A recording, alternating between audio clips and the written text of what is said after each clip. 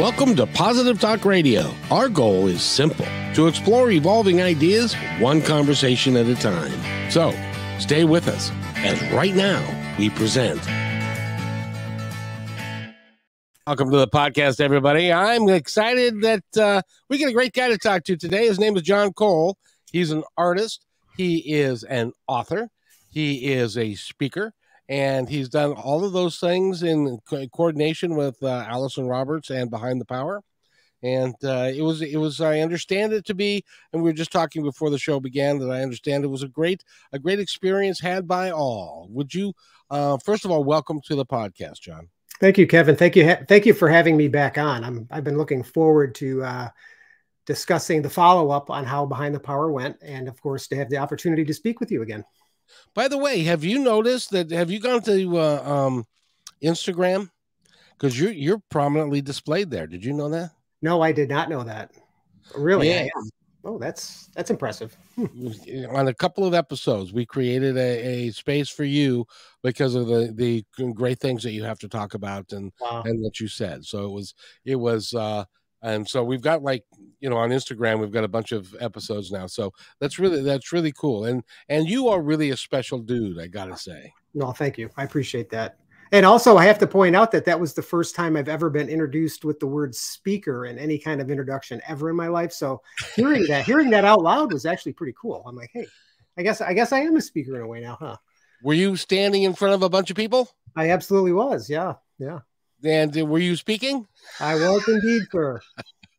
then, then you are a speaker, sir. Then I guess I am. So, you know, and uh, I want to I want to go through that with you a little bit, but let's talk about behind the power and uh, Allison Roberts and what she did there. I understand that the the attendance was superior and and uh, the speakers were terrific and everybody had a really good time. Right. Yeah. We um uh so there was right there's 13 of us all together speaking. That was including Allison. So we all as we have we spoken about in the past, we all got together and we wrote chapters in the Behind the Power, You're Not Crazy, You're Powerful book, which is thankfully finally out printed copy because I know there's a, a, a lot of us that really enjoy that smell of book, right? So yeah. that's out right now in a printed copy. But in conjunction with that, uh, we all met down at Atlanta, Georgia, Atlanta, Georgia, for the Behind the Power event. As part of that, uh, we all had the opportunity to speak on various topics. For myself, it was codependency. For others, it might have been recovering from sexual trauma or talking about, um, you know, what personal power means to them. And the turnout really was fantastic. Um, the first year that Allison hosted it, there might have been maybe 25 people. This year, it was more than double, uh, which considering we're still at the tail end of the COVID business and people are still a little bit weary of traveling, is really a substantial increase. Um, we had not only that, but we had a few other speakers. Uh, Tracy Litt, who is also a very um, notable uh, life coach, she was there and, and presented along with Allison, which was really powerful for a lot of us. And we had the opportunity also to have breakout sessions uh, I myself had some folks come in and we talked about, you know, some of the challenges you face when you transition from a a long time career like I did, right, 36 years in the Coast Guard, transitioning to something that might not be as big. Like, what are you going to do with the rest of your life? Uh, my wife and uh, Christy Farisi, uh, both of them have been on your show before. Uh, had a breakout session to do artwork in terms of getting in touch with your inner child. Another very interesting subject great turnout for that. And um, we had a panel set up, multiple panels, as a matter of fact, where we talked through various subjects and we had that interaction with the audience, which again was a very powerful experience for a lot of people. Um, and all that we squeezed into three short days in Atlanta. So it just really was an amazing experience. Allison and her daughter Laura, who acted as the MC, did an amazing job, not only keeping everybody on track, Kevin, but really bringing together such a wide variety of loving people and sincere people you know? And and i don't mean just the speakers but even those that that made that commitment to come and and really partake in this. Um and it wasn't just members of her unapologetic power group. We're talking folks that you know, had either through Facebook or through some other mechanism heard about the program, decided to invest in themselves and then come in and participate. Uh, we got to meet some wonderful people that we had never met before. And that one thing that we all have in common is that we're all good people that really want to change our lives so that we can change and help other people. So, totally wonderful event. And the beauty of it is, we're going to be doing it again next year. And that's awesome, by the way. Christine says hello. Hi, Christine. And um, she was also one of the speakers. Yeah, she was and a really and really fine lady and a a wonderful wife. I hear. Not that yep, I know. Yep. She's she's pretty good. She's pretty good. She's been hanging around with me now for coming up on 15 years. Matter of fact, our anniversary is coming up in a few weeks in uh, November. Congratulations! 15 years is a long time. It is a very long time, but we're we're hanging in there that's that's really cool. Yeah, that's that's really cool. And you know, and one of the things that you got to do was to be a speaker. Now I want to I want to go through with you what it's like to speak in front of a group of mm-hmm. people, but to the moments before you get on stage, the yeah. the angst that we all go through when you are are thrust upon the public eye and uh, like that and become and stand up in front of a bunch of people what what was going through your your stomach and your heart and your mind shortly before the uh, you know, before you hit the stage? Well i think i think it's a very well known fact that public speaking is like the number one fear right? Um it really is. Yeah it really is. And i'm not I'm certainly not going to argue that fact. I think as much preparation, and I can only speak on my behalf, right? But as much preparation as I put in for the speech, and that was no joke, Kevin, hours and hours of prep time, right? Didn't just include the writing, but the revisions, and of course, practicing in front of my wife, practicing in front of my colleagues as part of unapologetic power, practicing one on one with folks, and just going down in the basement and reading this speech time and time again until the morning of and i'm like i know this thing backwards and forwards right? So of course as the time gets closer you start to then think what could possibly go wrong. And well right you know a whole bunch of things go through your head right? I mean of course you know, yeah. You know well, trip going up stage that's a see. That's a normal reaction or mm-hmm. response of somebody. Is you know, it's not. It's not like I'm going to knock this out of the park. It's like, okay, what could go wrong? I could forget something. I could trip. I could, um, you know, a whole myriad of things could go. Somebody could start heckling me. Sure. Uh, uh all that kind of stuff. Oh, so. absolutely. You know, and, and but in my head, I'm like, you know what, John? I know this. I know this. I got this. I've said it so many times, right? And even in my head, I'm like, I know the first sentence. As long as long as I can get past that first sentence, Kevin, I'm good. I'm golden. Right. So I'm telling myself this, and right next thing you know, they, you know, next up on the stage, John Cole, and they'd read this little biography. So walk along, I'm hearing the applause. I'm, I'm starting to get butterflies, right? Because I'm about to step on. I get up on stage and I say that first line, and I'm like, oh, I got this, dude. I got this. And it's smooth sailing, smooth sailing, smooth sailing. I probably get about, remember, this is only like a 15 minute speech, so it's not super long, right? I probably got about 10 minutes into it. And I'm like, I'm, I'm moving towards the finish line and I'm passionate, right? Because I know this thing really, really well.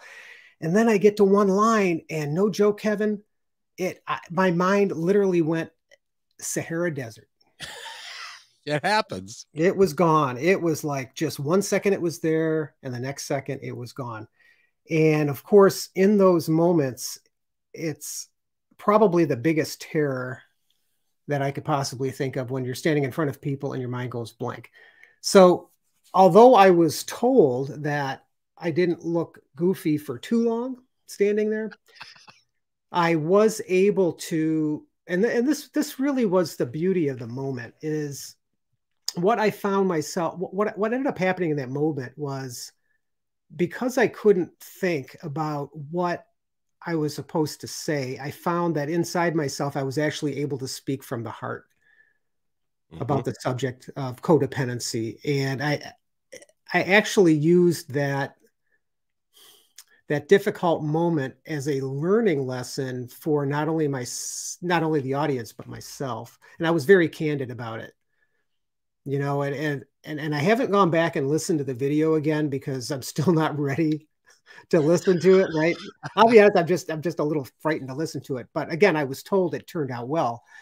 Uh, but I do re- I do recall that in that brief moment of clarity, I, I I felt more connected to myself and to the audience than I probably did as I was just reciting that memorized piece. So, you know, towards the end, of course, all of a sudden I remembered the end of it and I was able to pick up and, and finish. Um, but what I found really, really interesting about that experience is that I think that there's a certain there's a certain there's a certain magic that happens when you're in a position like that when you're in front of people and you really have something that you want to say that's important. And really all of our speeches at the core had a very important subject that we all as speakers wanted to tell the audience. And i would venture and i'm not going to put money on this but i would venture that the majority of the speakers at some point this happened to Oh, right? sure. So they're reading along, and and there's and you could almost tell when you listen to people talk. It's like the conversation we're having right now. None of this is scripted, and it really sounds, in my ears anyway, like a legitimate conversation, as opposed to you know if I was reading from this book or you were reading off of a script. And I think people can tell that, and I think that conversations like this are more meaningful because they're from the heart. And I think that's what happened to me. And to be honest with you although I was a little disappointed with my performance immediately afterwards, um, after talking to some folks and really thinking about it, um, in a way, I'm kind of glad that I went Sahara Desert on that speech because I think ultimately it turned out to be a much better product. So. Oh, I, I, agree with you totally. As a matter of fact, so does Christine. Uh, she says you faced it with grace and dignity. He showed up vulnerable and knocked it out of the park. And you know, like like I said before we began, that when that happens, um, and it happens to a lot of people all the time, and and but but people are rooting for you that are in the audience. It isn't an adversarial thing. They want you to do well, and and and they feel really good when when you do knock it out of the park. Yeah, and I don't. Yeah, and that's and that's a really good point that I think you know people like me that tend to feel as if we need to be perfect all the time you know i mean there's a lot of reasons why and that's some of the things i'm working through is why do i have this feeling that i need to be perfect and everything has to be just spot on or else i'm not going to bother to do it right but the fact of the matter is you're absolutely right i don't think perfection has nothing to do with anything that we're doing because in the long run nobody really cares if you're doing it perfect or not what they care about is whether you're a good person and what is it you're trying to say. Exactly. You know, the only time that it was imperative that I actually follow the script mm-hmm. was when I did Shakespeare. Because it is so out of the English language. Yes. That if you don't do it correctly and and with every line, then you're it's gonna it's gonna come off really terribly. But other than that, no, other than um, that, and, and, even then hollywood will take shakespeare and they will rewrite it completely and you'll watch it it'll you know with it'll be with sylvester stallone and you'll be like oh my god this is like this action film and it's shakespeare for heaven's sake right so yo adrian to yeah, be exactly. or not to be yeah exactly so you know and uh, but it's a, it's important but I, so i'm glad you know from an a experiential point of view i'm glad that you had that experience because it it, it, it taught you a lot, and also uh, the audience it wasn't lost on the audience, no. but they were real pleased that you were speaking from your heart, and it all made sense, and that actually was better than the scripted part. I'm willing to bet.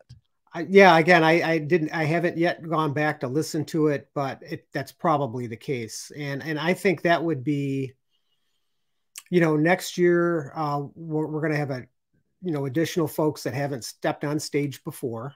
Um, I, I, would I would wager that'll be the case. I'm sure there'll be some veterans and then some new folks, but I think if anything, that would be my advice, or I should say my support that I would provide to these folks is that yeah, I think it's important to have a, a some kind of speech prepared, but maybe not be so tied to it that if you do find yourself in that position where you know the words aren't coming like you have them scripted that you really can slide back into into just talk about the subject as opposed to reciting about the subject because I did learn that that's really where I jam myself up. So yeah, and, and some people, Christine says some people even thought it was intentional. Yeah, yeah.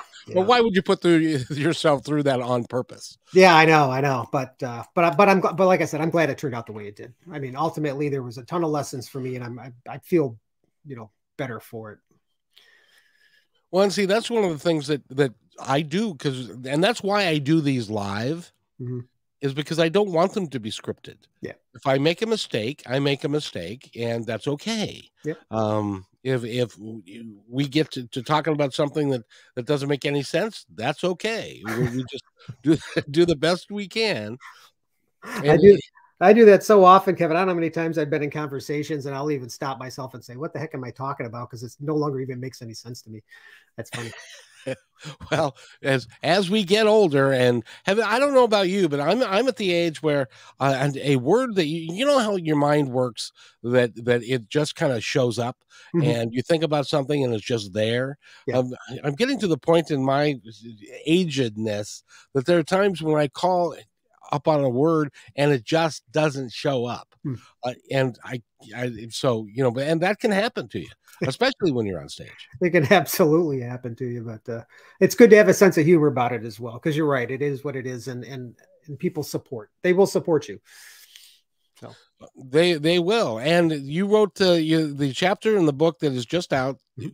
What was your chapter about? Well, my chapter it's called "A Grain of Sand," and uh, it, it ties in with the speech, and and it's about the codependency issue and where a lot of um, where I believe my codependency issues really start, right? Um, like most of us, uh, trauma kind of underpins who we are, you know, uh, and trauma doesn't have to be big, it can be very small. It can be something as simple as, like, for me, never being able to find anybody to like me in school. I never really had a girlfriend in school and although that doesn't seem like a traumatic thing, it can change the way you see yourself, right? If you never have a girlfriend, then you might begin to believe that you're not good looking.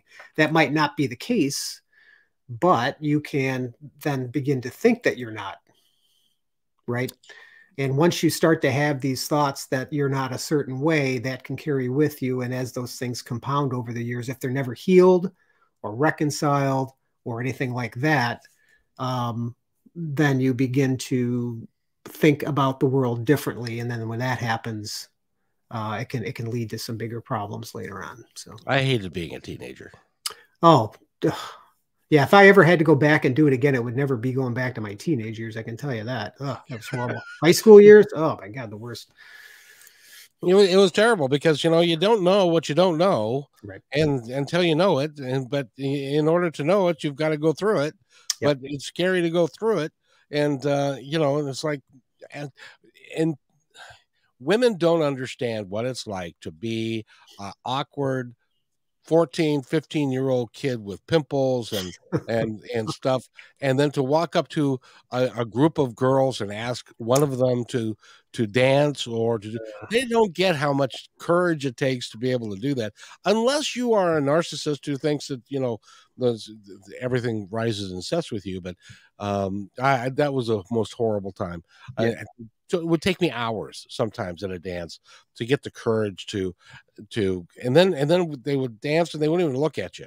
It was like oh well this is kind of pointless. So you know but growing up it, it's hard. Um and so you know what do you do?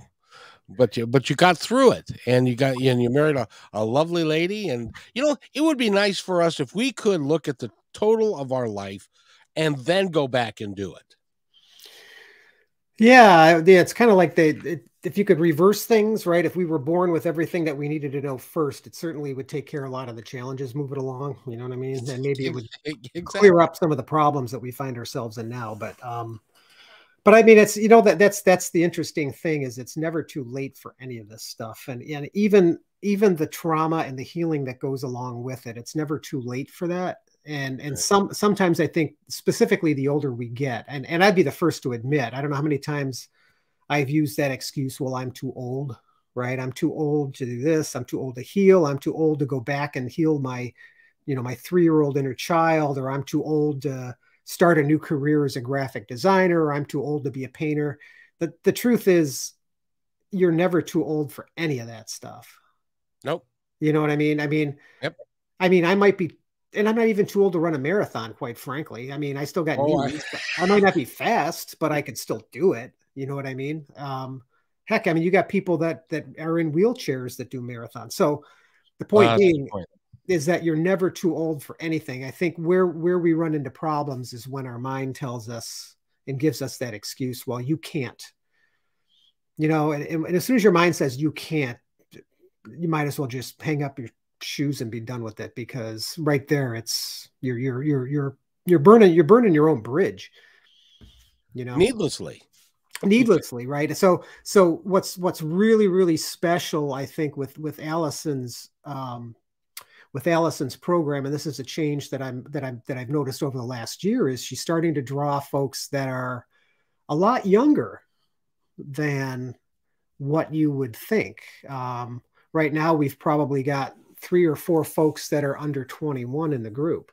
Oh really? Yes, which is when you think about it, quite an amazing thing because, you know, when you think back to when you're 19 or 20 years old, and we were just talking about that and how difficult it is for boys or girls to go through that process of learning who we are, because really, I'm not even sure if I even know who I am, and I'm 57, but you know, going going back and looking when I was 21, I mean, oh my, the decisions I were making, Kevin, were terrible decisions, right?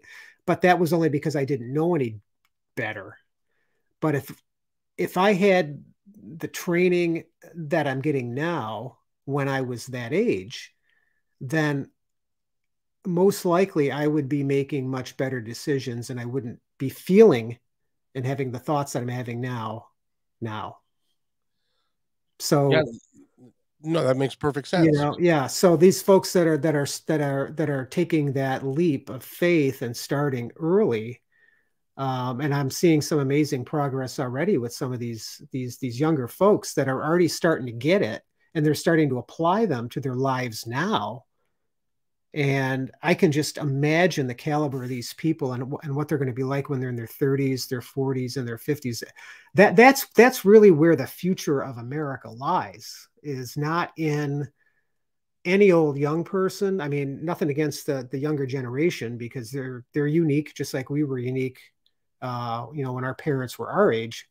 But i think those folks that are really willing to examine themselves and start to heal some of their trauma early, or at least recognize it and and and make some changes based on different tools and techniques those are the folks that are going to make a huge difference and that's where a lot of this change is going to take place. Oh i i, I agree completely. It's um we've got um a lot of a lot of young kids are there's a there's a change happening at mm-hmm. least yeah, i i feel it and i've noticed it there is a change happening in in the young people that are growing up. They seem to be a lot wiser than we were when I was growing up. And I don't know why. Yeah, I think yeah, I I I I don't exactly know why either, but I do tend to agree with you. I think that there's something that they're sensing that a whole bunch of us might have missed somewhere. Well and you know and it's not it's not so much even that that we should be ashamed or that we should feel badly because we missed it. It was because it just wasn't up it wasn't possible for us because nobody nobody was talking about this stuff the way the way that you are now and right. we, we are now. And it's it really is um an important aspect of who we are.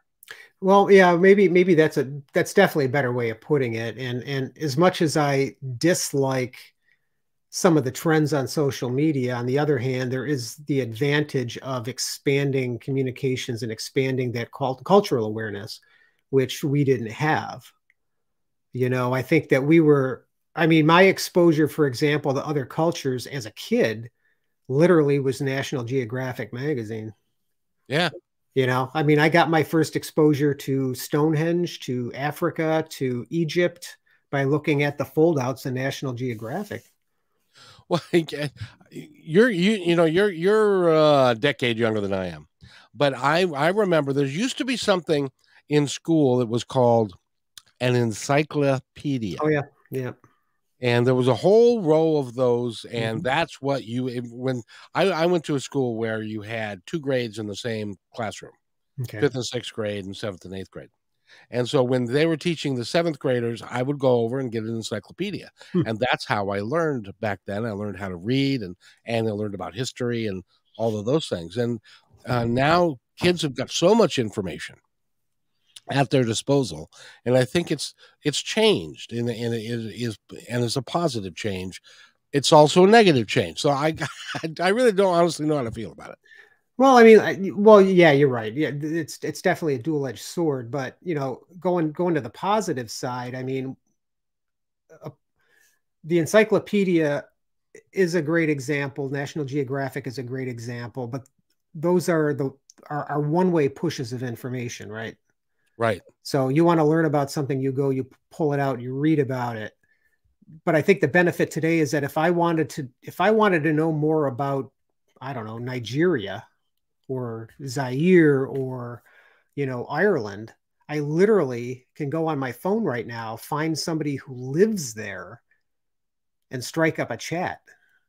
Yeah. And get, and get, a live video like right now. You know what I mean? And that is a very powerful thing.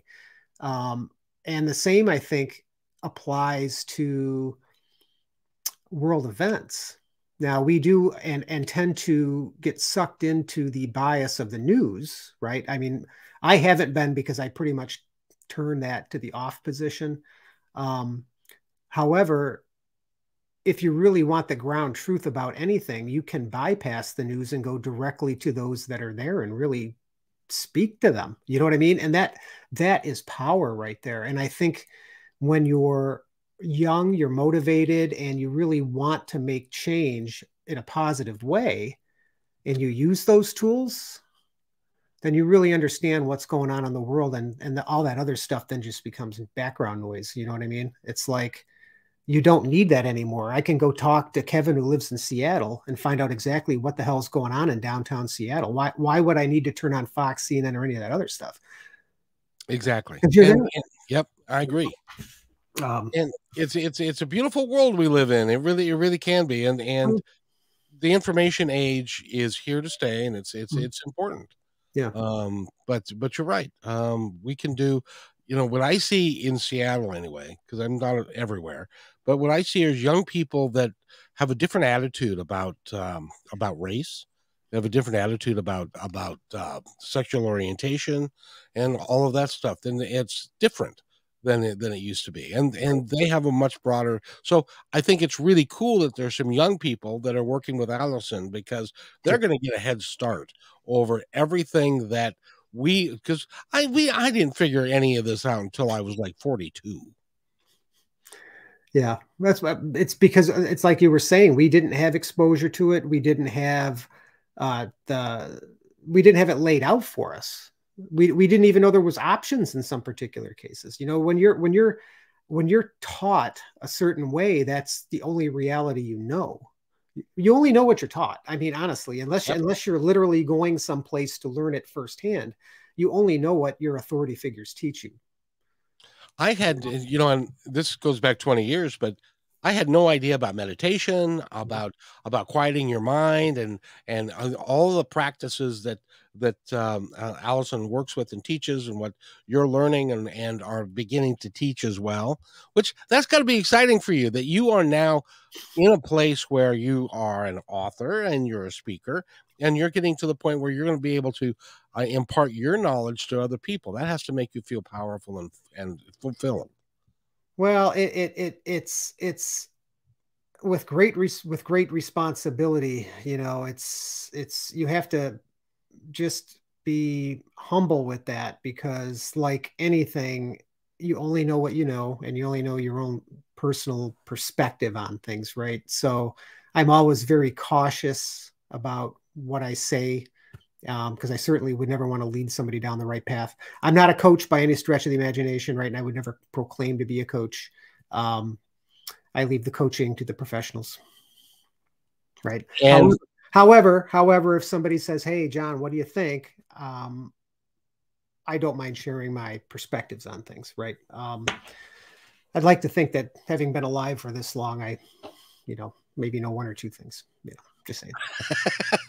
Ah, uh, you know more than just one or two things.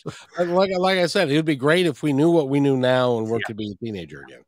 Um, but earlier today, I interviewed a gentleman by the name of David Essel, mm-hmm. and he has been a thought leader for like 40 years and has like 12 books out and stuff. And we talked about what it was like in the 80s and 90s to be part of the new thought movement that didn't really exist at the time. Right. And he was like he stuck with it over over that period because he felt very strongly about what he believed about and it's amazing that people are willing to do that and to hang with what they believe because they know it's the right thing to do.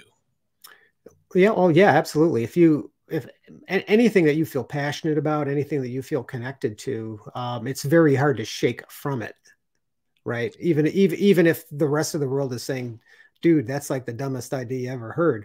If you're passionate about it, I mean, I mean that's that's the thing, right? That's why people do what they do. That's why that's why I stuck with the Coast Guard for so many years. I mean, um, you know, my story basically is I joined the Coast Guard because I felt um, that I had to rescue my first wife and my child from poverty. I mean, because I had gotten married right out of high school, oh, wow. and my daughter was born within six months of that, and I didn't have a job. You know, I mean, I literally went to the yellow pages and picked the Coast Guard out, not knowing what the heck I was getting myself into. And it wasn't supposed to be a 36 year career, it was going to be a four year obligation, right? Um, but obviously, that turned out a little bit different.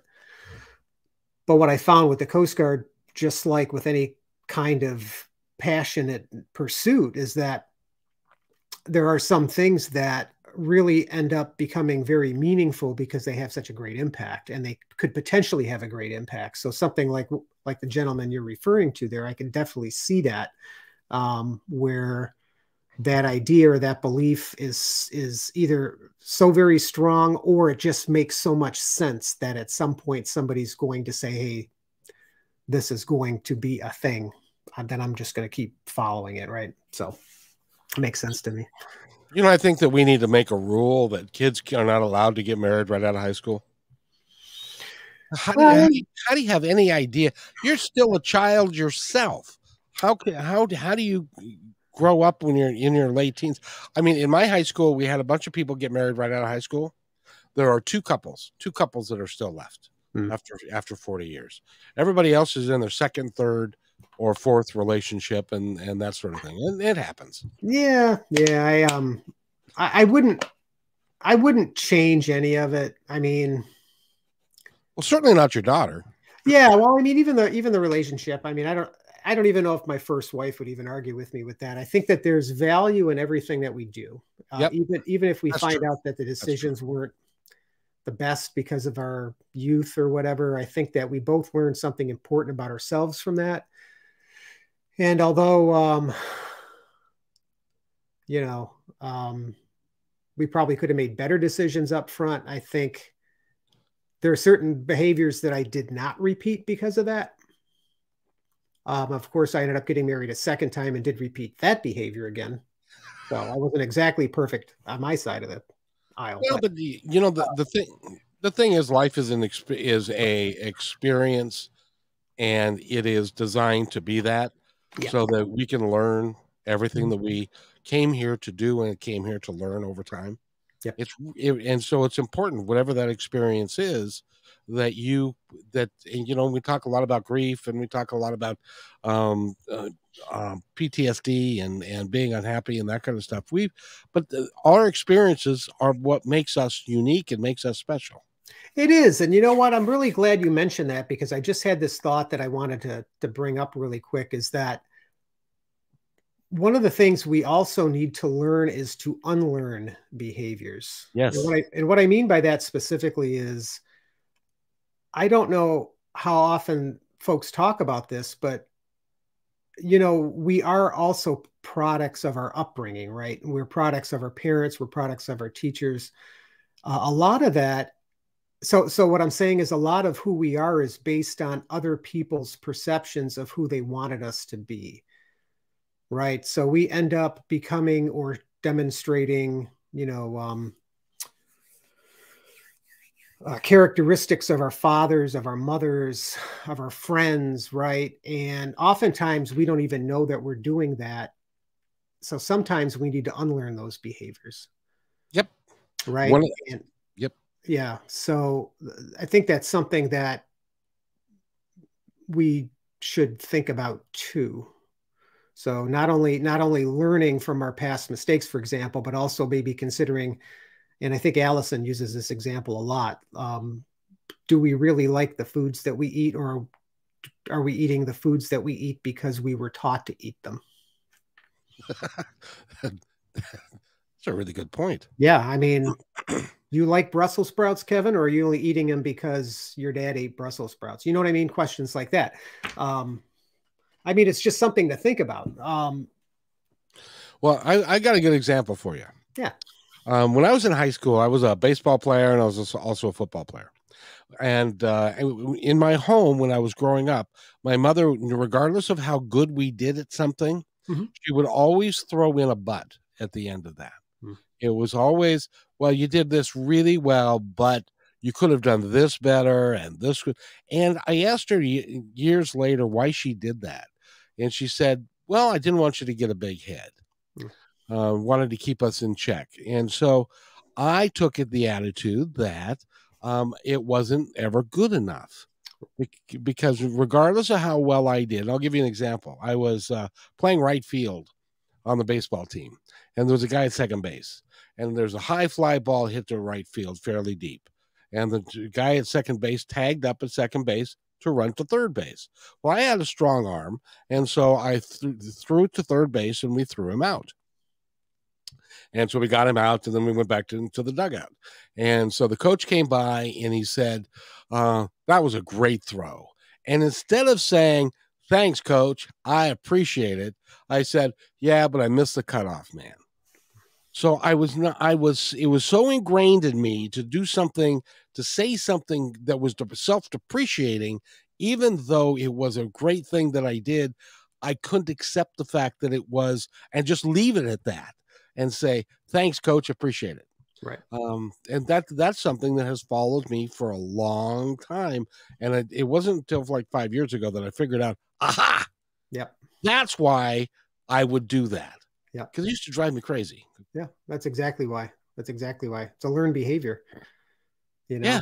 Yeah. And, and, and it's, it's a shame that that happened, but that, I think it happens a lot. I think that that's not an uncommon story. I mean, and it, it, it really is difficult for some of us um, to just respond with a thank you. Yeah. And, yeah. And that is a learned response. Yeah. That, that we have to recognize that they're not blowing smoke right. Or they're not they're not saying it just to be nice that they actually mean it yeah. and that we should accept it. Yeah somebody says hey kevin you look really nice tonight. Uh thank you. Yeah but i don't know this doesn't look right on me or yeah but does, does my butt look too big? Or yeah this does this, does this tie too you know what i mean?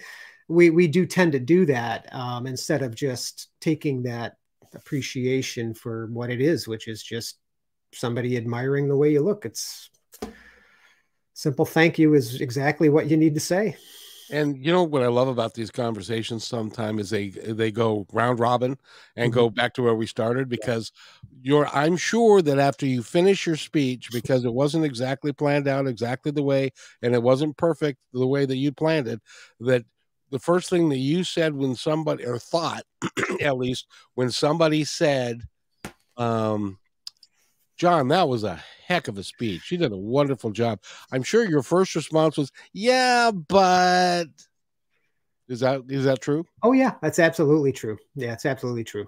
Yeah, I didn't I didn't let that go right away. It it took but but to my credit, uh the old me, I probably would have stewed on that for days. Uh but I I probably let that go the next morning. Well, and, and Jennifer says, by the way, Jennifer, you need to call me. We need to get you on the show again. I completely identify with your butt story.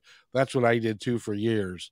And then she, and then she says, "Yep, that's exactly what you did." It was Yeah, like, yeah. yeah, I could have done, you know, but but the fact of the matter is, you did exactly what you were designed, what it was designed to end up with, and uh, and stuff, and you- and you and you really had an impact on people. Yeah, yeah, as did everyone. It just, yeah, yeah. But uh, yeah, it um, it it it is a very difficult thing to do when you're not used to it. It's difficult when you've grown up in environments like yours where there's always these conditions uh, or these added bonuses of the butt. Right? It's a butt bonus. Yes, Sounds funny when I say it, but um, that's, that's true yeah. Um, because it because it's an it's an ass thing. It's it's it's not it should not be. We should never we should never follow a compliment with a butt because it makes a butt out of you and me. Because it, it yeah, needs to much, be. yeah. yeah it needs to be if, if you're going to make a compliment it should be a positive thing and um and just let it sit there yeah yeah That's that's exactly what it ought to be. Because you're right. People don't say compliments for nothing. They, they they tend to mean them. And if they don't mean them, you pretty much can tell just by the tone of their voice if they're being sarcastic or something. You will know if it's not a legitimate compliment. and or they won't say a thing Or they won't say a thing exactly. and it, but when some when you have an impact on somebody and it's a positive impact and they feel compelled Mhm. to say thank you Right. or that was great or what a wonderful dinner you made uh it, it should be just well thank you Thank you. appreciate that. Yep. You know, that's that's that's what we should all do, but we don't do that because we're trained. Yep. What's their motive? What's the, your ulterior, motive Yeah. for uh, for saying that? yeah. So, So but- yeah. but that's why we all need a coach. Yep.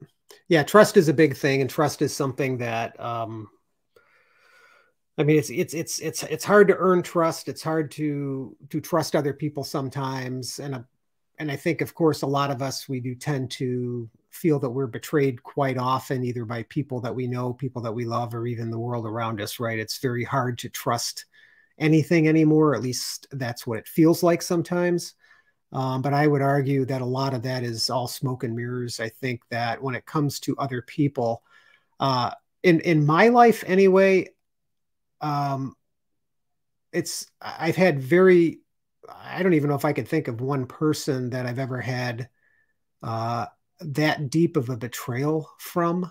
You know what I mean? Um, and maybe I've just been fortunate in my life, but I think generally speaking, uh, the majority of the people I've ever met have always had my best interest in mind. Um, whether or not we ever got along, or whether or not we stayed married, or whether or not whatever, um, there was very rarely any ulterior motives other than just people being people. So, you know, it does beg the question: Is a lot of our trust issues um, real or are they just make believe right so and the reason i bring that up is because you know when you do do this type of work and you start to think about your thoughts and question your belief systems and you really start to dig into that it, it those are good questions to ask right maybe you're not a trusting person because your parents weren't trusting people which goes back to what i was speaking to earlier maybe that is a behavior that you were taught right Mhm. uh, which then affects your relationships now, right? Um, and just by examining that one simple thing and just telling and just changing that thought and that belief, if the belief has been that you don't trust people because your parents never trusted anyone, maybe the answer is is you just change that belief and then you start to trust people and then your relationships get better, your money story gets better, your everything starts to get better, right? So it's it's this this ripple effect that these things can have on you just by you know making a pivot right um but trust is a big thing as well No, I, I agree 100%. And, uh, you know, one of the things that, that always um, interests me is that we will interpret interpret what somebody is telling us in the view of how we want it to be or where our past says it should be rather than what they actually said, what they actually meant. And so if we have a, as an example, a poor image of ourselves, Mhm. then we are going to look at it from that lens rather than a legitimate compliment or a legitimate, that was a very nice thing to say. You know what I mean? Right. Well, we we we take everything we take everything personally. We, we, do, and of course, I'm making a, a huge generalization there, but I think we kind of do. We we tend to absorb everything from the outside and we internalize it to make it about us. When the fact is, that's not true. That's You know, that's true. the Oh yeah, world the world i mean and i think you've you've mentioned this before in some of your podcasts. I mean the world isn't out to get you kevin. No, you know the russians aren't out to get you. You know the president isn't out to get you right? The guy that's living in the the, the house next door is not out to get you. You know i mean there are people in the world that might be but the odds of that actually happening are infinitesimal. You know what i mean? Um the same thing with um uh other people's perceptions of you, right? Whether they have opinions of you or not is quite frankly none of your business. That's got nothing to do with you. That's got to do with them, right? What Yep. they think about you is their problem. It's got nothing to do with you. You are who you are. unless you're not because you don't know who you are and that that's that's why you know a lot of us run into that that issue of you know we we perceive ourselves differently than other people perceive us it it's it's the darndest thing Yeah. because we it's we don't perceive ourselves as other people think more of us than we think of ourselves and that's a real problem A- and we can and we can work to fix that. And what I mean by fix that, I mean change that perception because I think you're absolutely right. I think we do we we tend to lowball ourselves a lot for one thing. Um, you know, I'm I'm never going to be a great artist, even though everybody around me says I do great pictures and paintings of fish. I don't think they're that great, but everybody likes them. So why, why is my opinion of my fish so low? Right. So that's clearly something that I need to work on. Right. So that's a matter of that's a self-esteem issue. That's a self care or a self-approval issue. That's that's all this different stuff. And it all kind of goes back to the trauma that I experienced growing up, right? Whether or not it was from childhood or later on in adolescence or even in my early years, right? Why do I feel like that? Right. What are the thoughts behind that? What was the actions that might have resulted from something that that that changed my worldview about that particular thing?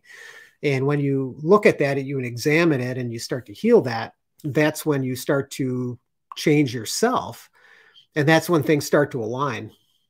And even if they don't align, again, at least you can come to the realization that it doesn't really matter what other people think about you. The important thing, Kevin, is that you love yourself. The important thing is that you realize that you realize you have that self power, right? You are you are, you are your own world. yeah You know, honestly, you are. Every, and and and when people say, "Geez, Kevin, what is this all about you?" Well, the answer ought to be, "Well, yeah, it is." at the end of the day I mean, at the end of the day, it is. I mean, it's this is the only life you're going to be given, Kevin. So if you're going to spend your whole life people pleasing or feeling bad about yourself or, you know, trying to do everything you can to make other people happy, well, number one, you're never going to make anybody else happy because happiness is an internal thing.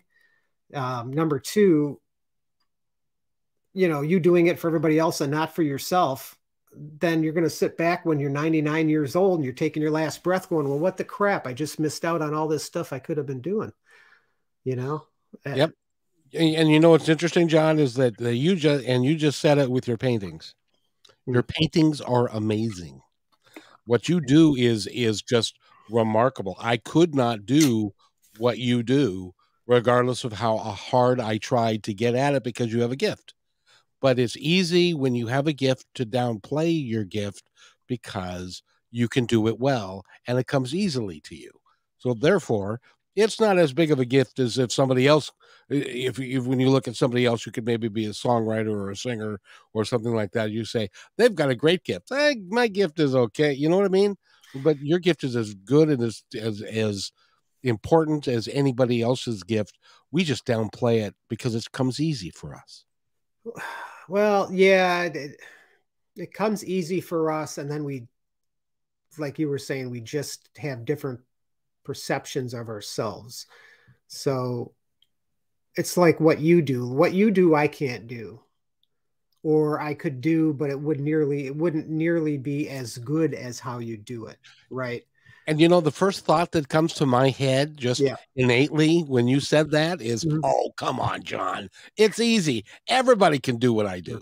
And everybody can do the paintings that I do.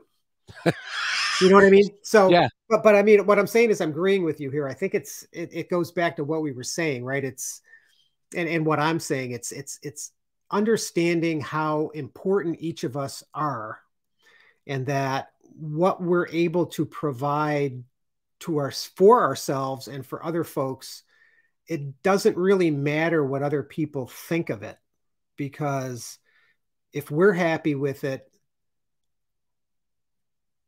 the rest is going to follow so if i can get to the point and i'm working on it i really am working on it to get to the point where i can do a piece of art that I don't really care whether or not Kevin McDonald likes it or not because I like it. Mm-hmm. Then, then that's exactly where I need to be because now I'm doing it because I love to do it, and because I have that passion instilled into it. There will be people that want that art, and if it's yeah. not for you, and if it's not for her, and it's not for him, that's okay. But there are people that want it. Same thing with your podcast, right?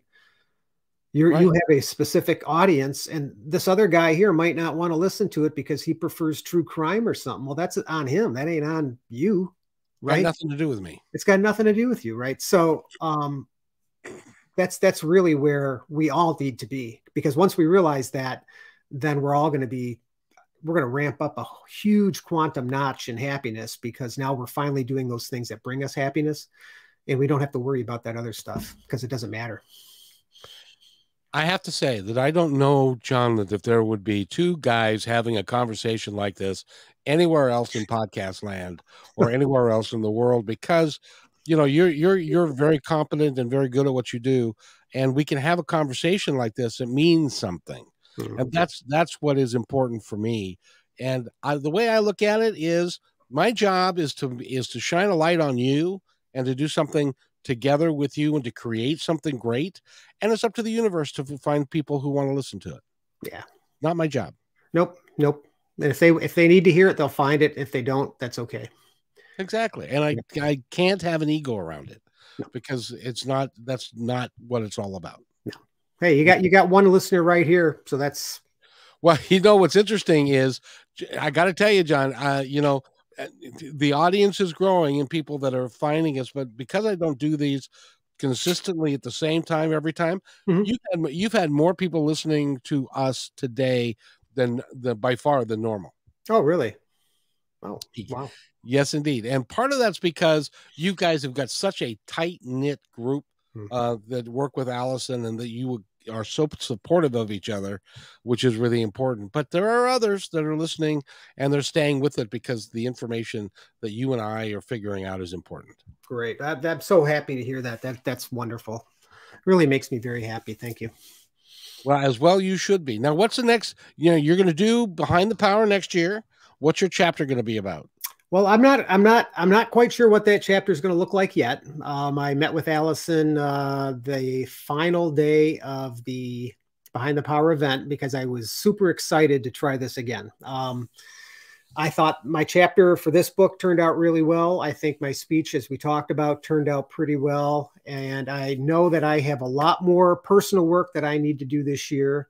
Uh, what I really want to focus on for me is resolving some of my historically uh, misidentified anger issues. I think a lot of the anger issues that I've suffered throughout a lot of my younger years that that led up into my, you know, into my 30s and 40s were really based on some significant childhood trauma that I'm only recently uncovering. Um, mm. Some things that I didn't even know existed. Um, they at the time didn't seem very significant. However, the more I'm looking at them, the more I'm thinking that they're a lot larger than I thought, or or they impacted me for a lot longer of a period of time. So I want to focus in more on that. So that's really going to be my focus for this year. And during that, whatever falls out, I'm not quite sure chapter wise. Uh, I don't know what the subject matter is specifically going to be.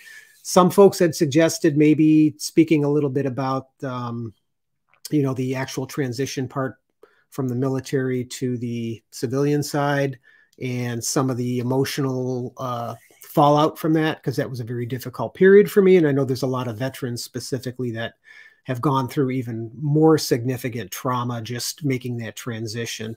Um, that could be an option. Um, but I don't know. I can certainly keep you in the loop as we move forward and let you know how that goes.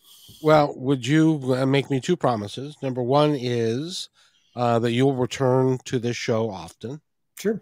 Absolutely. And uh, and the other one is that I really like the concept of of doing that transition. It affects every, hmm. not every, but most men on the planet.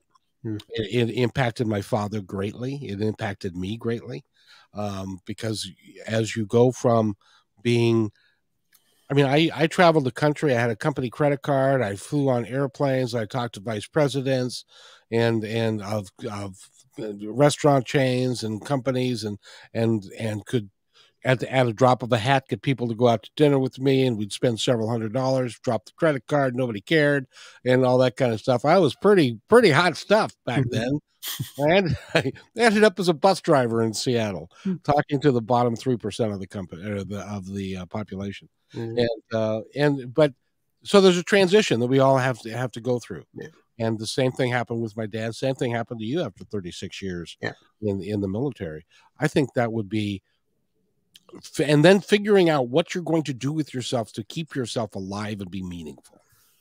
Yeah, that yeah, I, that that probably would be a really good subject to investigate. I've known, I think over the course of my career, I've known probably half a dozen folks that you know, retired after 30 years of service and within that first six months passed away. So it does happen. And unfortunately, it happens probably more often than people know. And that's because it's such a significant shock to the system. They just, people tend to feel worthless. Um, on the veteran side, uh, especially those that see combat, it's even worse.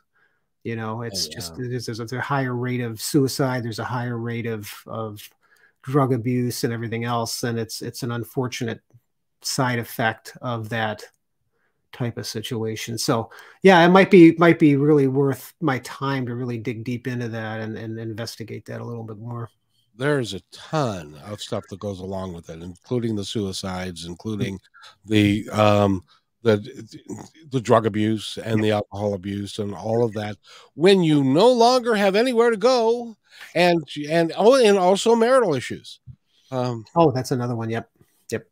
Because my my mother and father, my father when he he worked six days a week for Nordstrom for most of his adult life, and then when he came home when he retired, he was now invading her space. Yeah.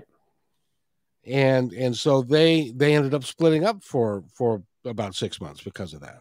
Right and uh, and Christine, I it's you could help you could help so many, and I think that's that's really is true. Yeah, that really is true. Yeah. And so I I would I'll help you in any way I can, young man. I appreciate that. So yeah. and you've got a, a good following of people that follow you, and you should be very proud of who you are. Thank you. And there's a steps you're working to make changes for yourself. By the way, go to AllisonRoberts.com and you can find out more about her, her work, and the entourage of people that she has that are really, I, I can't tell you how outstanding a group of people you are. Thank you. Thank you. And remember, you can now get the Behind the Power, You're Not Crazy, You're Powerful hard copy book. Yay. Available on Amazon.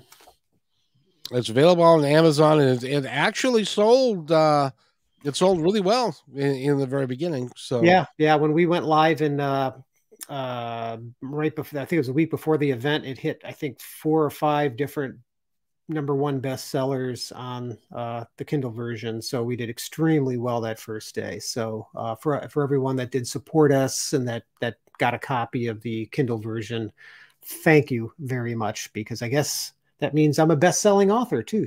Who knew? you need to put that on your resume. I know. I need to add that in there so folks can see it.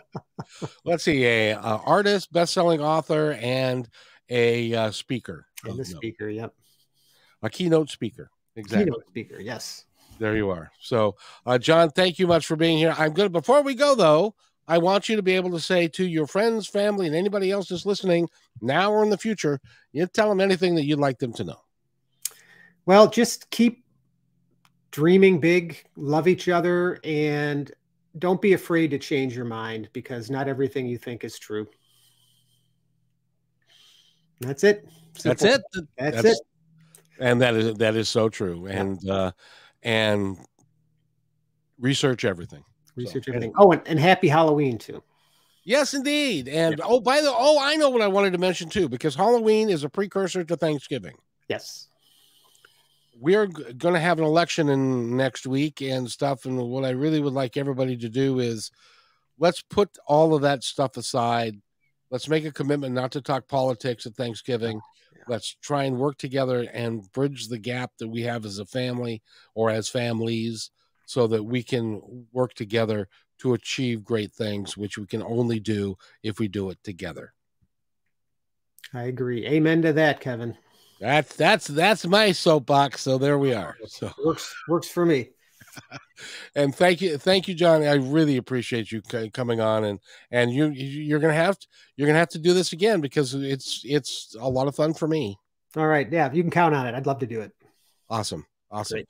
Again, John Cole, thank you very much. And uh, go to, by the way, John, uh, what's your website? Oh, it's johnrobertcole.com and there's some and stuff you can buy there and some um, artwork that you can see and, and stuff like that. Please, you should go there. And uh, if you have a mind, go buy something.